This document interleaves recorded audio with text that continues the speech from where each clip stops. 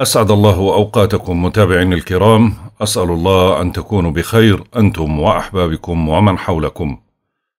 طبعا اليوم توقعاتنا ليوم الاثنين 11 خمسة. القمر موجود في الجدي في منزل سعد بلع وهي منزلة للعلاج والفراق وإتلاف الأموال والحرية. وحكينا أنه القمر لما بيكون موجود في الجدي أنه الفترة هاي كلنا منعود لطبيعتنا الجادة ومنحاول إنجاز عمل متراكم نجد إنه الأمور ما بتصير معنا بسهولة وممكن تسيطر علينا روح التشاؤم أو على البعض منا. علينا الاجتهاد أكثر بوسعنا الشروع بعمل جديد أو شراء تحفة أثرية والبدء بحمية أو شراء بوليص التأمين. أما بالنسبة للزوايا الفلكية فأول زاوية فلكية هي من الزوايا البطيئة هي زاوية تسديس إيجابية بين الشمس ونبتون راح تكون الساعة 4 و15 دقيقة مساء يعني بعد الحلقة. بتعزز الخيال الخصب في المجالات الفنية والابتكار وبتزيد قوة الحدس. طبعا هاي الزاوية بما أنها زاوية بطيئة الشمس ونبتون معناته تأثيراتها سبع أيام قادمة. أما بالنسبة للزاوية التي تليها هي زاوية تثليث إيجابية بين القمر وأورانوس. راح تكون في تمام الساعة 10 و37 دقيقة مساء. بتعزز قدرتنا على استغلال المناسبات الاجتماعية والاستفادة منها وممكن يفاجئنا البعض بشيء غير متوقع وممكن يصدر منا ما هو غير متوقع اتجاه البعض كذلك. الحدث اللي راح يصير اليوم طبعا هو تراجع آه، كوكب زحل. راح يتراجع كوكب زحل في الدلو حتى منتصف ليل واحد سبعة. لا يعود متراجع بعديها بعد واحد سبعة برجع لبرج الجدي. راح يظل طبعا مدة التراجع هاي حتى صباح تسعة وعشرين تسعة. ليعود بعدها للحركة الأمامية في برج الجدي. يعني أنه مدة التراجع هاي قرابة الأربعة أشهر ونص. في فترة تراجع كوكب زحل اللي هو المعلم الصارم بنشعر بالضياع وبعدم قدرتنا على تنظيم أمورنا وبتعمل فوضى حياتنا اليومية وبيتضاءل لدينا الحس بالمسؤولية والواجب رغم رغم آه التزاماتنا. من المحتمل أيضا أنها تزداد مصاريفنا فبتخلل بالتالي فبتختل بالتالي ميزانيتنا وبنجد من الصعوبة السيطرة على الوضع. أما بالنسبة للزاوية التي تليها هي زاوية تربيع سلبية راح تكون بين عطارد والمريخ. برضو هاي تأثيرها راح يكون مدته سبع أيام تقريبا. زاوية التربيع هاي راح تكون الساعة سبعة أو ثلاثة وثلاثين دقيقة صباحا بسود شعور بضيق الصدر. ما بنتقبل النقد ممكن نثور بشكل مبالغ فيه في وجه أي واحد بحاول أنه ينتقدنا أو يعطي ملاحظة خصوصا في على تصرفاتنا. بتكون ردات الفعل يعني شوي ممكن تكشف عيوب وأخطاء في هاي الفترة. طبعا في حدث ثاني اللي هو انتقال عطارد ولكن مش رح نحكي عنه اليوم بكرة إن شاء الله في حلقة الغد رح نحكي عنها وتأثيرها على جميع الأبراج خصوصا إنه عطارد رح ينتقل للجوزاء. وأثناء وجوده بالجوزاء إيش كل الأبراج بتستفيد من تأثيراته؟ رح نحكيها في حلقة الغد إن شاء الله وباقي الزوايا. أما بالنسبة بما أنه القمر موجود في الجدي معناته خلو المسار القادم راح يكون يوم 12 خمسة راح يكون في تمام الساعة 10 و9 و20 دقيقة قبل الظهر وراح يستمر حتى تمام الساعة 3 و38 دقيقة مساء. يعني برضو راح تيجي حلقة الغد وفي آه، خلو مسار. لينتقل بعدها القمر لبرج الدلو.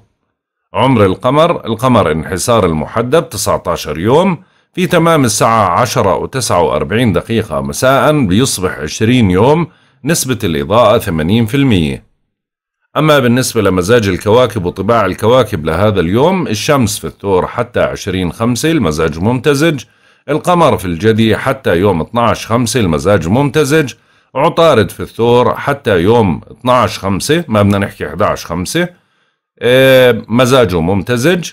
الزهرة في الجوزاء حتى يوم 13 5 آه، بعدين بيبدأ عملية التراجع مزاجه منتحس. المريخ في الدلو حتى يوم 13 5 مزاجه منتحس. المشتري في الجدي حتى يوم 14 5 بعدين بيبدأ عملية التراجع مزاجه منتحس. زحل في الدلو بيتراجع حتى يوم 1 7 لأنه خلص هو بنعتبر أنه بدأ عملية التراجع وبما أنه بده يتراجع في الدلو في البداية فبنقول لغاية واحد سبعة بضل في الدلو متراجع مزاجه منتحس. أورانوس في الثور حتى يوم 15 8 وبعدين بيبدأ عملية التراجع مزاجه سعيد. نبتون في الحوت حتى يوم 23 6 وبعدين بيبدأ عملية التراجع مزاجه سعيد. بلوتو في الجدي بيتراجع حتى يوم 4 10 مزاجه منتحس. طبعا بما إنه الآن أغلب الكواكب منتحسة وممتزجة فالتأثيرات تقريبا رح تكون سلبية في معظم البيوت. فعشان هيك لما يجي واحد يسمع التوقعات يقول ليش أنت بتعطينا تشاؤمية؟ أنا ما بعطيك تشاؤمية. بما إنه الكواكب منتحسة أنا من وين أجيب لك السعادة يعني؟ فبحاول قدر الإمكان الزوايا الإيجابية اللي بتتشكل بين الكواكب هي اللي ممكن تعطينا التأثير السريع للإيجابيات. بس الغالب هو بكون إشي صعب على الجميع بالفترة هاي وخصوصا أنه كثير من الكواكب في خلال الفترة القادمة راح تتراجع فهذا كله انتحاسي وكله سلبية وراح تأثر على الجميع. وطبعا كل يوم راح نذكر الكوكب اللي بيتراجع وتأثيراته على جميع الأبراج إيش راح يكون. وصلنا للتوقعات اليومية. برج الحمل. طبعا بتتركز جهودكم نحو العمل والعلاقة مع المسؤولين بوسعكم إثبات جدارتكم والمحافظة على إنجازاتكم القائمة. ما بينفع العناد والتحدي أو ممكن إنه يصير في نوع من أنواع التشتت بسبب الضغوط. بدك تحاول إنك تبرر عملك وإظهار مهارتك خلال الفترة هاي. ممكن تكون الظروف شوي معقدة وصعبة. انت طباعك أو أفكارك مشتتة في خلال الفترة هاي. في نوع من أنواع العصبية ممكن تتجه للغضب أو للاضطراب بالفترة هاي. طبعا القمر بما إنه موجود في بيتك العاشر فهذا بسبب هاي الضغوط اللي هو هذا بيت السمعة. فما بينفع إنك أنت آه، يعني تعمل أي شيء يشوه سمعتك بالفترة هاي. أما بالنسبة للبيت الأول فشايف أنا اليوم الأمور ضاغطة شوي عليك بتكون يعني في نوع من أنواع التقلب في المزاج أو الحدية في المزاج عندك. يعني أو اضطراب مزاجي ممكن تعصب لأتفه الأسباب أو ممكن تحتد على أي سوء عمل بصير حواليك. أما بالنسبة للبيت الثاني فأنا شايف الأمور يعني على المستوى المالي ممكن من ساعات الصباح الأمور تتحسن شوي ممكن يصير في نوع من أنواع الدعم على المستوى المالي أو يصير في هيك فرص لتحصيل مال بيجي من عمل إضافي أو بيجي نوع من أنواع الهبات أو المساعدات. أما بالنسبة للبيت الثالث فهو جيد برضو على مستوى المناقشة أو على مستوى إثبات الذات أو حتى على مستوى الامتحانات والتنقلات والاتصالات كلها بتدعمك بقوة. ممكن اليوم يكون في نوع من أنواع التعامل ما بينك وبين أخ أو جار. أما بالنسبة للبيت الرابع على مستوى البيت شوي الأمور فيها نوع من أنواع الضغط فعشان هيك بنقول لك ما تتوتر وما تعصب من أي تصرف بصير من البيت أو من أحد أفراد العائلة. ممكن تتعرض عندك البيت أو يتعرض البيت لبعض الأعطال أو بعض ال ال الأشياء اللي بتتطلب منك الاهتمام أو تواجدك. أما بالنسبة للبيت الخامس فبرضه في ضغوط على المستوى العاطفي شوي بتسبب لك ردات فعل عصبية أو توتر مع الأحبة وممكن تقلق بشأن حبيب. أما بالنسبة للبيت السادس فأنا شايف الأمور على مستوى العمل يعني بتقدر تنجز بعض الأعمال المهمة اليوم وممكن تهتم بشأن صحي أو أدوية أو بعض بعض الأشياء اللي لها علاقة بالمراجعات الطبية. أما بالنسبة للبيت السابع فبدك تدير بالك أثناء التعامل مع الشريك لأنه شوي الأمور ضاغطة فممكن يسبب لك هذا نوع من أنواع التوتر بالعلاقة ما بينك وبين الشريك بشكل مفاجئ.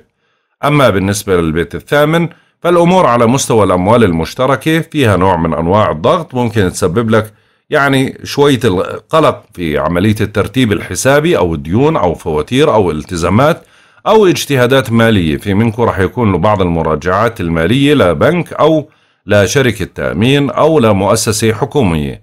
أما بالنسبة للبيت التاسع فهو جيد على مستوى الاتصالات والتواصل مع أشخاص خارج البلاد أو الاهتمام بأمور فلسفية أو دينية أو حتى بالنقاشات العامة اللي بيشتغلوا في مجال الاستيراد والتصدير اليوم جيد بالنسبة لهم اللي عندهم أوراق قانونية برضو أو معاملات محاكم أشياء زي هيك برضو بتدعمهم بقوة واللي عندهم امتحانات جامعية برضو ممتاز جدا. أما بالنسبة للبيت العاشر فكما ذكرناه في بداية التوقعات بالنسبة لبيتك 11 يعني شوي زي ما حكينا أنه الأمور على بيت الأصدقاء فيها نوع من أنواع الضغط فهذا بسبب لك نوع من أنواع التوتر. ممكن إنك تعصب من أحد الأصدقاء أو ممكن إنه يصير شيء شوي يقلقك أو تهتم بشيء له علاقة بصديق أو معرفة. أما بالنسبة لبيت المتاعب فبنقدر نقول إنه شيئا ما روتيني ما في أي شيء لا إيجابي ولا سلبي. ورغم هيك بنقول لك حاول إنك ما تجهد حالك كثير راقب غذائك راقب أدويتك وحاول إنك تأخذ قسط كافي من الراحة بما إنه اليوم هذا في نوع في بعض البيوت بتضغط عليك بشكل عصبي. برج الثور.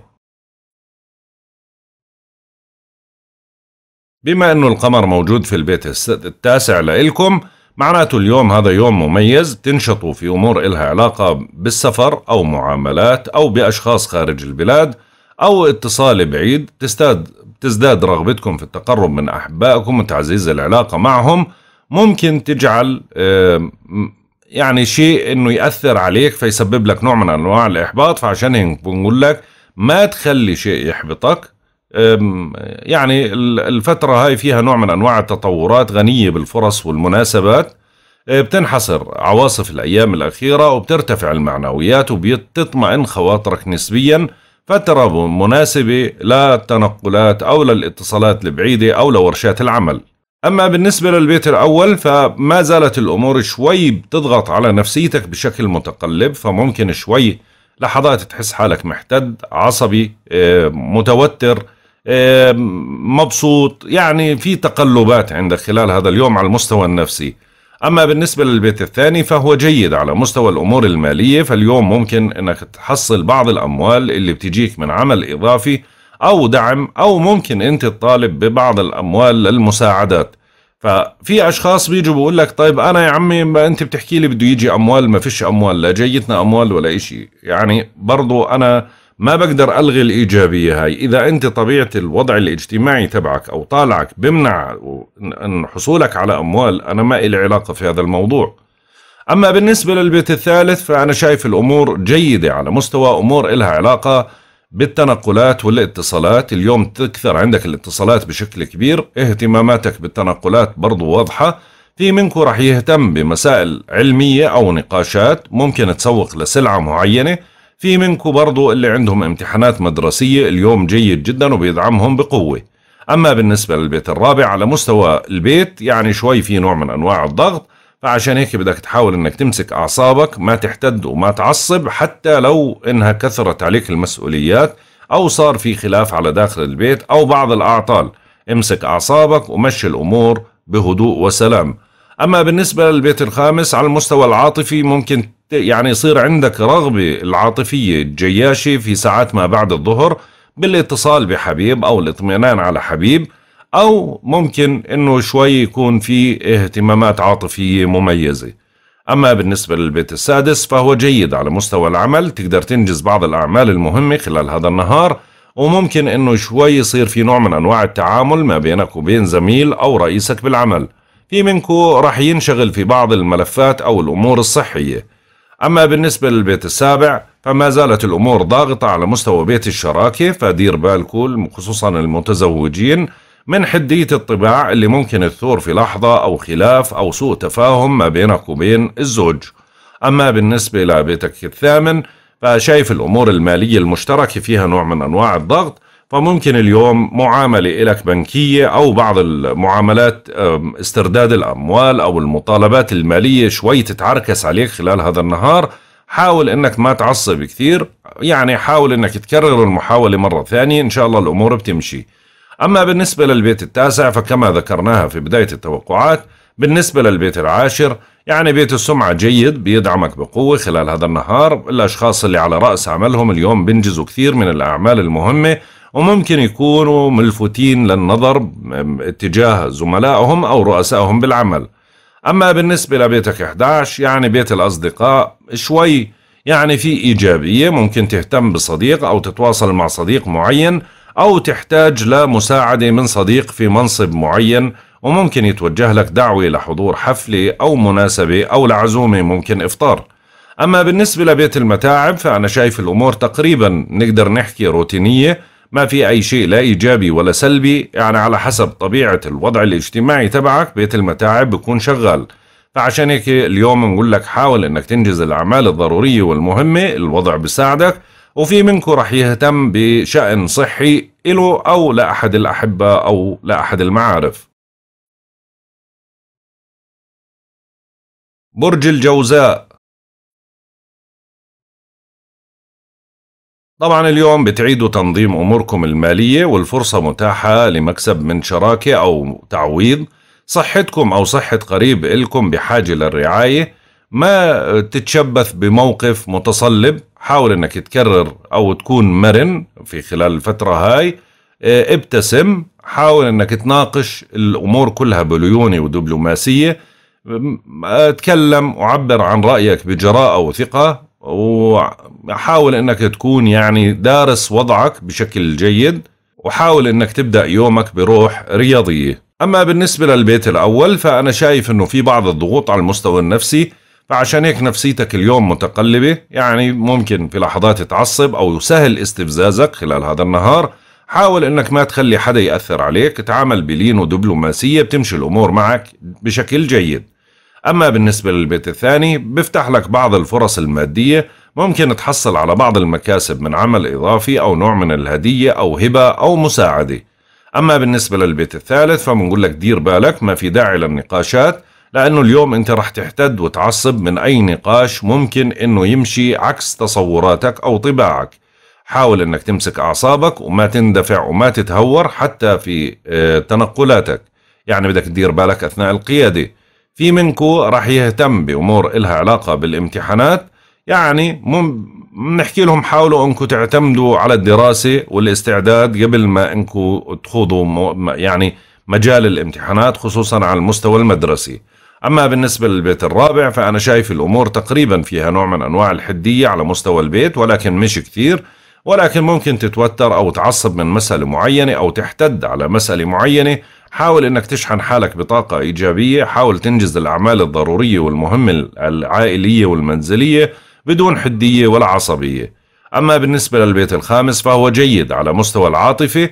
ممكن اليوم يعمل لك نوع من أنواع التواصل مع الحبيب أو الاهتمام بحبيب أو ممكن الأجواء تكون عاطفية عندك زيادة. أما بالنسبة للبيت السادس فالأمور تقريبا نقدر نحكي على المستوى العملي جيدة بتقدر تنجز بعض الأعمال المهمة وممكن إنه يتراكم عندك عمل معين أو أنت تأجله ما ترضى تهتم فيه ومنكم ممكن يهتم ببعض المسائل العلاجية. أما بالنسبة للبيت السابع فأنا شايف الأمور على مستوى بيت الشراكة جيد. ممكن اليوم يصير في نوع من أنواع التفاهم أو التأقلم ما بينك وبين شريكك خصوصا الأزواج وممكن مصالحة معينة. أما بالنسبة للبيت الثامن فكما ذكرناها في بداية التوقعات بالنسبة للبيت التاسع شوي الأمور يعني بنقدر نحكي جيدة خلال هذا النهار على مستوى الاتصالات البعيدة والتواصل مع أشخاص أو مع حبايب أو ممكن الاهتمام بمسائل أشخاص خارج البلاد أو أوراق سفر أو أوراق قانونية. كلها هاي بتكون عندك إيجابية. حتى اللي عندهم امتحانات جامعية اليوم بيكون الوضع مميز عندهم. أما بالنسبة للبيت العاشر فبدك تدير بالك من بيت السمعة. شوي في نوع من أنواع الضغط فبسبب لك نوع من أنواع التوتر حاول ما تغامر وما تخالف القوانين ما تتأخر عن عملك وما تفتح مجالات للزعل ما بينك وبين زميل أو رئيسك بالعمل.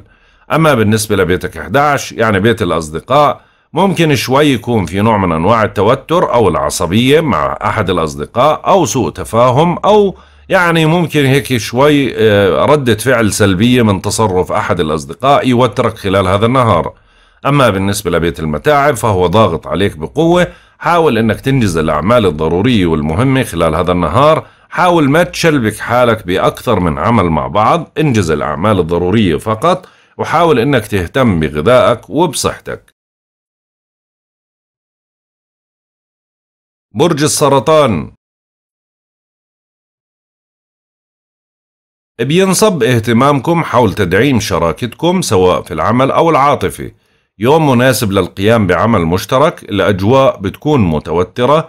ركز بشكل جيد وما ترتجل الأجواء شوي فيها نوع من أنواع الضغط نسبيا والمسؤوليات بتكون كبيرة في خلال الفترة هاي. بدك تهدئ من روعك ما في داعي للانفعال ولا للعصبية. أما بالنسبة للبيت الأول بما أنه القمر موجود في البيت السابع معناته البيت الأول ضاغط عليك. فعشان هيك اليوم تشعر في نوع من أنواع التقلب على مستوى المزاج. ما في هدوء عادي يعني في هيك شوية عصبية على حدية على توتر على مالل أو الروتين يعني ممل بالنسبة لإلك. بدك تحاول إنك تشحن حالك بطاقة إيجابية على أساس إنه الأمور هاي ما تأثر عليك.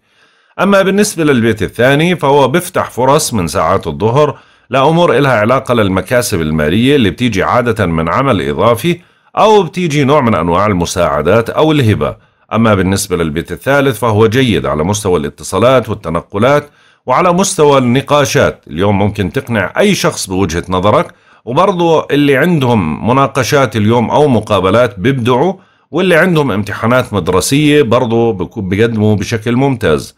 أما بالنسبة للبيت الرابع على مستوى البيت الأمور هادية يعني الوضع مطمئن فعشان هيك بتقدر تنجز بعض الأعمال المنزلية اليوم بشكل جيد. وفي بعض التواصل العائلي راح يصير أو لقاء أو فرحة أو خبر معين ممكن يبسطك. أما بالنسبة للبيت الخامس فأنا شايف الأمور جيدة على المستوى البيت الخامس. يعني بيت العاطفة هذا فبيدعمك عاطفيا في ساعات الظهر والعصر وممكن يعمل نوع من أنواع التقارب ما بينك وبين الحبيب أو تواصل أو تعاطف على مسألة معينة. أما بالنسبة للبيت السادس فهو ضاغط عليك على مستوى العمل فعشان هيك بنقول لك حاول أنك تنجز الأعمال الضرورية وتهتم في صحتك خلال هذا النهار.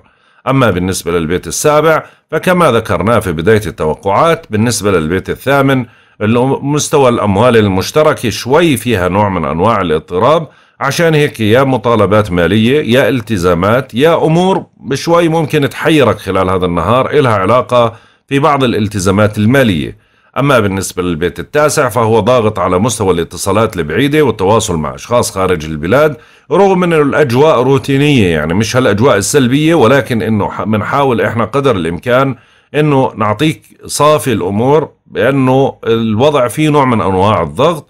يعني بدك تحتاط أنت إذا أجاك اتصال من برا ما تعصب إذا عندك امتحان جامعي بدك تدرس وتستعد بشكل جيد وإذا عندك أي شيء له مطالبات قانونية أوراق أو معاملات ما تهملها. أما بالنسبة للبيت العاشر فهو جيد على مستوى بيت العمل مع المؤسسات الكبيرة فبتقدر تنجز بعض الأعمال المهمة بمساعدة صديق أو زميل أو رئيس في العمل.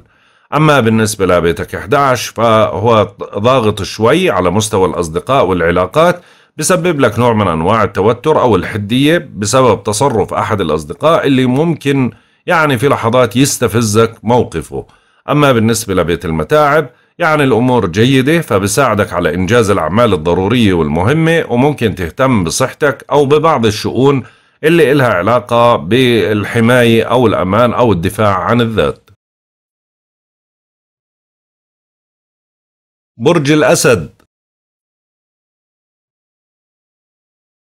بيبدأ العمل بالتراكم لديكم. مع هيك أنتم قادرين على إنجاز قسم كبير منه. ما تهملوا صحتكم. هاي فترة عمل جيدة. كون أكثر انضباط وتنظيم. ممكن تنشغل بأمور صحية أو رياضية خلال هذا اليوم. حافظ على استقرار وضعك الصحي.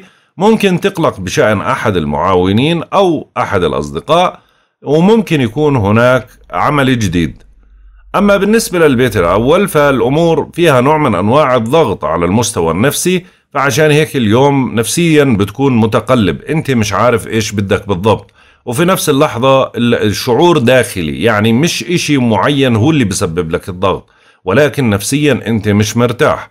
أما بالنسبة للبيت الثاني فأنا شايف الأمور إجمالا جيدة على المستوى المالي فهي بتعزز بعض الأمور المالية وممكن تفتح لك بعض الأبواب اللي ممكن تحصل من خلالها بعض المكاسب المالية. في منكم ممكن يحصل على مال من عمل إضافي أو هدية أو منحة أو نوع من أنواع المساعدة. أما بالنسبة للبيت الثالث فأنا شايف الأمور جيدة على مستوى التنقلات والاتصالات والاهتمام ببعض الأشخاص. ممكن تناقش موضوع مهم خلال هذا النهار أو ممكن تكثر عندك الاتصالات والتنقلات. اللي عنده امتحان مدرسي اليوم بيقدم بشكل جيد. أما مستوى البيت الرابع بيت البيت فأنا شايف الأمور جيدة في نوع من أنواع التوافق ما بينك وبين أفراد العائلة يعني انسجام عالي جدا ممكن تهتم ببعض الالتزامات أو المشتريات أو الأشياء الضرورية المنزلية كالمعتاد. أما بالنسبة للبيت الخامس فأنا شايف على المستوى العاطفي يعني في نوع من أنواع الحدية والعصبية عندك خلال هذا النهار. هذا الإشي بوترك يعني يا ممكن تقلق بشأن حبيب أو صديق أو معرفة أو ممكن إنه هذا الإشي يسبب لك نوع من أنواع التوتر على المستوى العاطفي. أما بالنسبة للبيت السادس فكما ذكرناه في بداية التوقعات بالنسبة للبيت السابع على مستوى بيت الشراكة يعني شوي الأمور ما بدنا نحكي روتينية بنعطيها شوية سلبية. فممكن تحتد وتعصب من تصرف الشريك اليوم أو فضوله أو تدخله أو سوء فهم ممكن يحدث ما بينكم خصوصا الأزواج. أما بالنسبة للبيت الثامن فأنا شايف الأمور تقريبا ضاغطة على المستوى الأموال المشتركة فهذا شوي بأرقك لأنه هاي مطالبات بديون أو اهتمامات بقروض أو التزامات أو خوف من المستقبل من التزامات مالية كبيرة. أما بالنسبة للبيت التاسع فهو جيد على مستوى الاتصالات البعيدة والتواصل مع أشخاص خارج البلاد أو الاهتمام ببعض القضايا الفلسفية أو الدينية أو السياسية وفي منكم رح ينشط في أمور إلها علاقة بالاتصالات أو الامتحانات الجامعية وكلها بتكون جيدة. أما بالنسبة للبيت العاشر حاول أنه اليوم ما تشوه سمعتك بأي تصرف ما تغامر ما تتأخر عن دوامك وفي نفس اللحظة ما تدخل بأي جدال مع زميل أو مع رئيسك بالعمل. أما بالنسبة لبيتك 11 فأنا شايف الأمور ضاغطة على مستوى الأصدقاء وهذا بسبب لك نوع من أنواع التوتر أو العصبية. حاول أنك تمسك حالك وما تحتد وما تعصب من تصرف الصديق أما بالنسبة لبيت المتاعب فأنا شايف الأمور روتينية فعشان هيك اليوم تقدر تنجز بعض الأعمال المهمة أو بعض الأمور اللي ممكن أنك كنت تفكر إنها صعبة ولكن بتلاقيها سهلة بتنجزها بسهولة وممكن تنشط في هاي الأمور وفي منكم رح يهتم ببعض المسائل الصحية أو الأمور اللي إلها علاقة بالرقابة الغذائية أو الأدوية أو أشياء من هذا القبيل. برج العذراء. تشتد رغبتكم في التقرب من أحبائكم وتعزيز العلاقة معهم. يوم مناسب لنشاط فني أو برضو لا يعني الفترة هاي بتحمل أجواء سحرية أو مفاجئة أو سعيدة بمعنى آخر بتكون نظرتك للحياة متفائلة ممكن تندم على تصرف أو على تصرفاتك الأخيرة وتحاول ترتيب الأمور بشكل أفضل. فترة بناءة وإيجابية وجيدة للمصالحة إن رغبت في المصالحة. أما بالنسبة للبيت الأول يعني شوي برضو نفسيا شوي ممكن تكون هيك مشحون ببعض العصبية أو التوتر خلال هذا النهار ولكن تقدر تشحن حالك بطاقة إيجابية وتستفيد من آه، هاي الأمور الإيجابية اللي بتدعمك من البيت الخامس. أما بالنسبة للبيت الثاني على المستوى الأمور المالية ممكن اليوم يعني تفتح لك بعض الأبواب اللي يكون في من وراها بعض المكاسب المالية اللي بتيجي من عمل إضافي عادة وممكن تيجي عن طريق هبة أو مساعدة. أما بالنسبة للبيت الثالث فأنا شايف الأمور جيدة على مستوى النقاشات ولكن امسك حالك من العصبية وردات الفعل السلبية اللي ممكن تيجي في لحظات. في ممكن يكون هذا التصرف أو هاي العصبية تيجي مع أخ أو مع جار. أما بالنسبة للبيت الرابع فالأمور المنزلية أو العائلية ضاغطة عليك بشكل سلبي فعشان هيك ممكن يصير التوتر داخل البيت. أو التزامات كثيرة أو اهتمامات في مسائل إلها علاقة بالعقار أو أمور إلها علاقة بالتصليحات والترميمات والمشتريات اللي بتكون زيادة أو اهتمام بمشكلة عائلية. أما بالنسبة للبيت الخامس فكما ذكرناه في بداية التوقعات بالنسبة للبيت السادس هو ضاغط على مستوى العمل فممكن يتراكم عندك بعض الأعمال خلال هذا النهار أو ممكن تهتم بشأن صحي أو بسبب تعب صحي لأحد الأحبة. أما بالنسبة للبيت السابع فعلى مستوى بيت الشراكة شايفه روتيني تماما ما في أي شيء لا إيجابي ولا سلبي خلال هذا النهار فعلى حسب طبيعتكم بتتعاملوا وممكن يصير في مصالحة معينة. أما بالنسبة للبيت الثامن فهو ضاغط عليك على مستوى الأمور اللي لها علاقة بالأمور المالية المشتركة أو ديون أو التزامات مستقبلية أو أمور بنكية أو آه، أشياء لها علاقة بالقروض أو فقدان أحد يعني شيء من المقتنيات. أما بالنسبة للبيت التاسع فالأمور ضاغطة على مستوى الاتصالات البعيدة أو التواصل مع أشخاص خارج البلاد أو على مستوى حتى أوراق أو معاملات قانونية. اللي عندهم امتحانات جامعية بدهم يركزوا بشكل جيد ما يعتمدوا على الحظوظ. أما بالنسبة للبيت العاشر فهو جيد على مستوى العمل مع المؤسسات الكبيرة ممكن تنجز بعض الأعمال المهمة وممكن حتى أنك تحقق إنجاز اليوم على مستوى العمل ممتاز حتى لو تعاملت مع زميل أو مع رئيسك بالعمل. أما بالنسبة لبيت 11 آه، فأنا شايف بيت الأصدقاء جيد يعني بيدعمك شوي خلال هذا النهار فممكن يكون في نوع من أنواع التعاون ما بينك وبين صديق أو معرفة أو علاقات يعني تلجأ لها لأجل مسألة أو معاملة معينة. أما بالنسبة لبيت المتاعب فهو جيد بيدعمك على مستوى إنجاز بعض الأعمال المهمة والضرورية وممكن اليوم يكون في عندك رغبة للاهتمام بصحتك أو تغذية أو أدوية أو أشياء من هذا القبيل. برج الميزان. بتفضلوا التركيز حول شؤونكم البيتية والعائلية بوسعكم إدخال أي تعديل مطلوب على مساكنكم بتبدو مضطرب ومرهف الحس بعض الشيء يعني شوي ممكن تشعر بالارتباك أو تغضب بسرعة تجنب الخصام والجدال كليا من المحبذ عدم آه إلقاء اللوم على الأحباء يعني في بعض الأعمال والانشغالات المنزلية واضح أما بالنسبة للبيت الأول فبما أنه القمر في البيت الرابع يعني تربيع مع بيتك فعشان هيك شوي بيعمل نوع من أنواع التقلب في المزاج أو مضغوط أو حساس زيادة عن اللزوم ممكن تعصب أو تمل أو حتى أنك يعني تتشكون من الروتين أو الملل بالجو. أما بالنسبة للبيت الثاني فأنا شايف الأمور جيدة يعني في بعضكم راح يحصل بعض الأموال من عمل إضافي أو نوع من أنواع المساعدات أو الدعم خلال هذا النهار. أما بالنسبة للبيت الثالث فالأمور جيدة ولكن العصبية واضحة أكثر. فبلاقي في نوع من أنواع الحدية أو العصبية في المزاج أثناء النقاشات أو الحوارات. وممكن برضو يكون في اهتمامات على مستوى الامتحانات بحاجة للاستعداد أو الدراسة ما تعتمد فيها على الحظ. أما بالنسبة للبيت الرابع فكما ذكرناه في بداية التوقعات بالنسبة للبيت الخامس على مستوى العاطفة اليوم عندك ضعيفة جدا. فعشان هيك مشحون بعصبية أو توتر أو سوء تفاهم ممكن يخليك تحتد على الحبيب. أما بالنسبة للبيت السادس فبتقدر تنجز بعض الأعمال المهمة خلال هذا النهار وممكن تهتم بشأن صحي.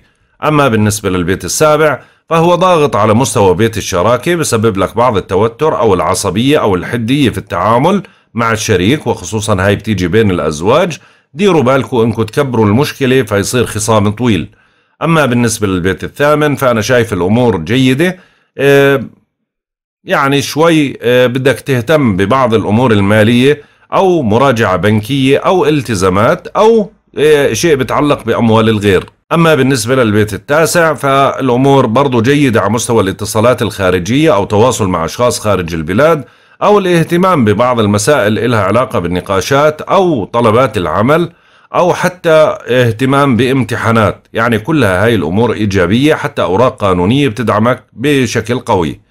أما بالنسبة للبيت العاشر فهو جيد على مستوى بيت السمعة وبيت العمل مع المؤسسات الكبيرة فمعناته بتقدر اليوم تدافع عن سمعتك وتنجز كثير من الأعمال الضرورية والمهمة خلال هذا النهار.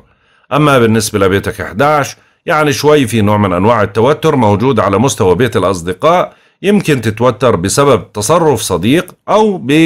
لأجل صديق أو بموقف أو شيء بحدث لصديق. أما بالنسبة لبيت المتاعب فاليوم تقدر تنجز بعض الأعمال المهمة أو تهتم بشؤون جيدة وبتدعمك بقوة وخصوصا على مستوى العمل أو على مستوى الصحة. برج العقرب. طبعا بتكثر لديكم الاتصالات والتنقلات. يوم مناسب لاجتياز امتحان أو إجراء مقابلة بتتمتع بسرعة بديهة وخاطر. باستطاعتك مناقشة الأمور الصعبة وطرح أفكار جديدة. إيه، ممكن تحصل على فرصة جيدة مشاعرك إيه، برضو جيدة وممكن تبرر عن موقف معين. إيه، بتنشط بالتنقلات أو بالإتصالات خلال هذا النهار. أما بالنسبة للبيت الأول رغم كل هاي الإيجابية اللي موجودة عندك اللي حكيناها عن البيت الثالث إلا أنه مزاجك شوي اليوم في نوع من أنواع السلبية. يعني يا حدية يا مالل يا إما مالل من الروتين يا عليك ضغط نفسي فعشان هيك بدك تشحن حالك بطاقة إيجابية وما تخلي هاي الطاقة السلبية تسيطر عليك. أما بالنسبة للبيت الثاني فأنا شايف الأمور المالية فيها نوع من أنواع الضغط. ممكن مشتريات أو مصاريف أو متطلبات مالية بترهقك. أو بتزعجك لأنه مش الوقت المناسب. أما بالنسبة للبيت الثالث فكما ذكرناها في بداية التوقعات بالنسبة للبيت الرابع فأنا شايف الالتزامات والمسؤولية كثيرة وكبيرة فعشان هيك ممكن ترهقك أو توترك فبنقول لك حاول إنك ما ما تستسلم للاستفزازات انجز الأعمال الضرورية والمهمة وحاول ما تستقبل أي شيء ممكن إنه يستفزك أو يوترك. أما بالنسبة للبيت الخامس على المستوى العاطفي الأمور جيدة يعني تواصلك ما بين الحبيب أو الاهتمام بشؤون شؤون الحبيب أو التناغم ما بينك وبين الحبيب جيد جدا. أما بالنسبة للبيت السادس فبنقول لك إنه في ضغط عليك برضو على مستوى العمل وعلى مستوى الصحة. بدك تراقب صحتك بشكل جيد ما ترهق حالك كثير وحاول تنجز الأعمال الضرورية فقط بدون ما تراكم الأعمال عليك.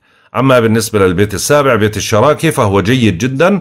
برضو نفس الإشي يعني بيعمل نوع من أنواع التوافق أو التقابل ما بينك وبين الشريك وممكن اليوم تحلوا مسألة معينة أو يكون في تفاهم واضح ما بينكم. أما بالنسبة للبيت الثامن فأنا شايف الأمور برضو المالية المشتركة ضاغطة عليك فعشان هيك بتتوتر في عملية حسابية أو برهقك التفكير في بعض الأشياء المالية اللي ممكن يعني يكون في بعضها متوتر. في منكم ممكن ينشغل بمسائل لها علاقة بالدوائر الحكومية المالية أو بالبنوك. أما بالنسبة للبيت التاسع فهو جيد على مستوى الاتصالات البعيدة والتواصل مع أشخاص خارج البلاد أو الاهتمام في بعض المسائل العلمية والنقاشية.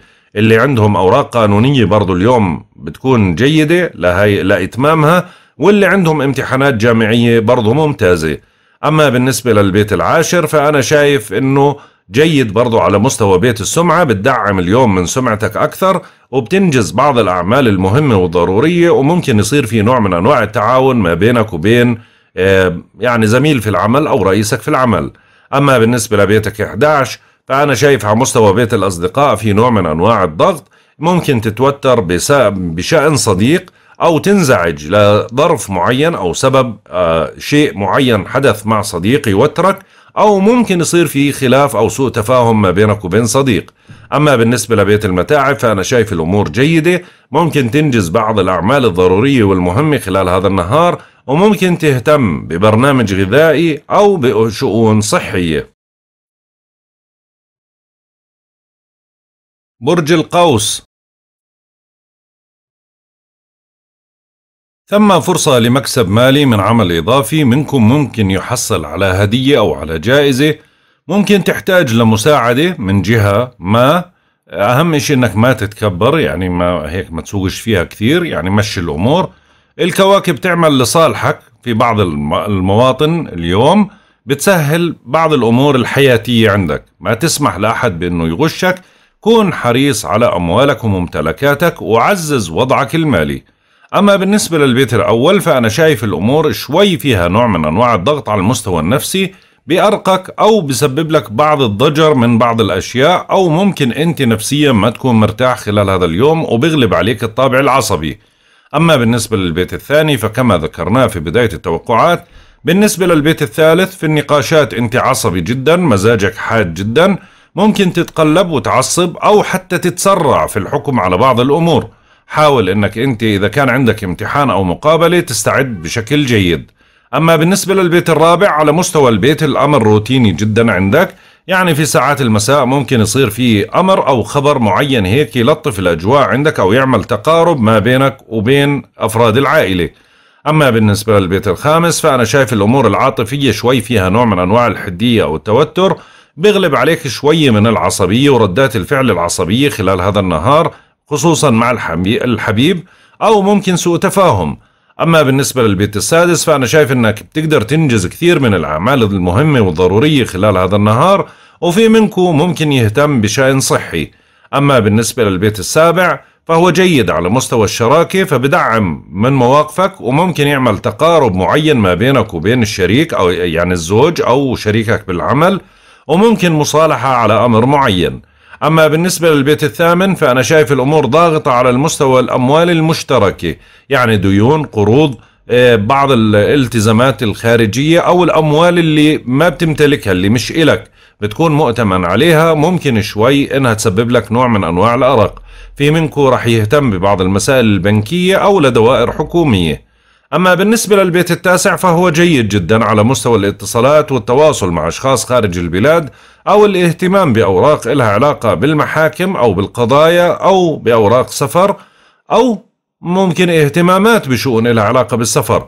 وفي منكم رح ينشط بأشياء لها علاقة بالنقاشات الفلسفية أو الدينية أو الاهتمامات اللي من هذا النوع. واللي عنده امتحان جامعي برضه بيقدم بشكل جيد. أما بالنسبة لبيتك العاشر فهو جيد بيت السمعة بيدعمك بشكل قوي بيعمل نوع من أنواع التقارب ما بينك وبين الأشخاص اللي حواليك وفي منكم ممكن يدافع عن سمعته في مسألة معينة وممكن تنجز بعض الأعمال المهمة والضرورية بالتعاون مع زميل أو رئيسك بالعمل. أما بالنسبة لبيتك 11 فبيت الأصدقاء شوي بشكل نوع من أنواع الحدية أو التوتر فعشان هيك ممكن تعصب أو تحتد بسبب صديق أو ذكرى معينة أو ممكن خلاف ما بينك وبين أحد المعارف أو تهتم بظرف معين بمر فيه أحد الأحبة أو الأصدقاء بيقلقك شوي. أما بالنسبة لبيت المتاعب فبنقول لك حاول أنك تنجز الأعمال الضرورية والمهمة خلال هذا النهار وحاول أنك تأخذ قسط كافي من الراحة واهتم بشؤونك الصحية بشكل جيد. برج الجدي. طبعا اليوم بتبدأوا فترة إيجابية بتعيد عندكم النشاطكم المفقود اللي كنتوا فاقدينه بالفترة الماضية. بوسعكم السيطرة على زمام الأمور. حاول إنك تجد جديد أو تبحث عن أمر مميز. بتعيش فترة واعدة من الأفراح والنجاحات خلال هذا اليوم. يعني تعتبر هاي الفترة من أسرع فترات الشهر بالنتائج. أو التطورات. حاول أنك تدخل التنوع إلى حياتك الشخصية يعني في نوع من أنواع الانفراج أو نوع من أنواع التسوية. أما بالنسبة للبيت الثاني فأنا شايف أنه الأمور المالية ما زال فيها نوع من أنواع الضغط اللي بيسبب لك نوع من أنواع الإرباك. ممكن تهتم في بعض المسائل المالية أو الديون أو الالتزامات أو حتى يعني أمور يعني بتأرقك ماليا بتحاول تجد لها مخرج. أما بالنسبة للبيت الثالث فهو جيد على مستوى النقاشات والتواصل والاتصالات وعلى مستوى الامتحانات المدرسية أو النقاشات مثلا عندك موضوع معين أو مشروع معين بدك تناقش فيه اليوم برضو جيد وبدعمك بقوة. أما بالنسبة للبيت الرابع بيت البيت يعني شايف الأمور شوي فيها نوع من أنواع الضغط أو المسؤوليات الكثيرة المنزلية أو ممكن تحتد أو تعصب على أحد أفراد العائلة. إذا كانت الأمور بس هي أعمال و... والتزامات منزلية انجزها بدون ما تعصب بكون الأفضل إلك ولنفسيتك أما بالنسبة للبيت الخامس فأنا شايف الأمور على المستوى العاطفي جيدة. يعني عواطفك جياشة وممكن تتواصل مع الحبيب أو يصير في نقطة تلاقي ما بينك وبين الحبيب اليوم. أما بالنسبة للبيت السادس يعني الأمور على مستوى العمل ممكن تنجز بعض الأعمال المهمة أو تهتم في بعض الأمور تكون إيجابية وفي منكم ممكن ينشغل في مسألة إلها علاقة بمراجعة طبيب أو أمور صحية. أما بالنسبة للبيت السابع على مستوى بيت الشراكة برضو في نوع من أنواع الدعم أو تقابل أو يعني ما بينكم أو تلاقي ما بينك وبين الشريك وخصوصا بين الأزواج أو حل مشكلة معينة أو تفاهم ما بينكم. أما بالنسبة للبيت الثامن فأنا شايف في ضغط على مستوى البيت الثامن على مستوى الأموال المشتركة وبرضه في نفس اللحظة ممكن تقلق بشأن صحة أحد الأحبة أو أحد المقربين. أما بالنسبة للبيت التاسع فبرضه جيد على مستوى الاتصالات البعيدة والتواصل مع أشخاص خارج البلاد أو الاهتمام ببعض شؤون أوراق سفر أو تواصل مع شركات تعليمية أو مؤسسات تعليمية أو ممكن حتى امتحانات جامعية. كلها هاي بتكون إيجابية حتى أوراق قضائية وقانونية لصالحك.